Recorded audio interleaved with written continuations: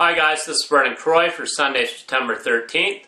I'll get to your free play in just a moment. First of all, I want to let you know that we took it on the chin yesterday in college football with the LSU Tigers blowing a 21-6 lead heading into the fourth quarter and Michigan State blowing a 10-point lead with under 5 minutes remaining to the Oregon Ducks.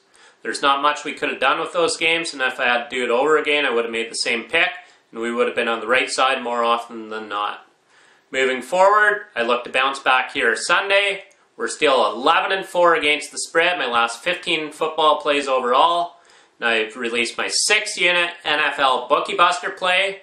Make sure you get it right now on the Premium Picks page. I love this play. It goes early, along with my 4 unit NFL Smash, also an early game. Get this play right now exclusively at Doc Sports. I've also released a 4 unit MLB play that's on Sunday Night Baseball between the Kansas City Royals and Baltimore Orioles. Make sure you get that play as well. It's backed by a full in-depth report, so you can bet with confidence exclusively right here at Doc Sports. We bounce back big time here Sunday. I know it.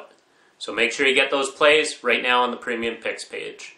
Your free play for Sunday, September 13th, we're taking the Chicago Bears against the spread over the Green Bay Packers. The public's hammering the Green Bay Packers. This line has fallen off a little bit. And I look for this Bears team to pull off the upset after getting whipped 55-14 last year to the Packers. So with revenge in mind, take the Chicago Bears against the spread over the Green Bay Packers as your free play for Sunday, September 13th.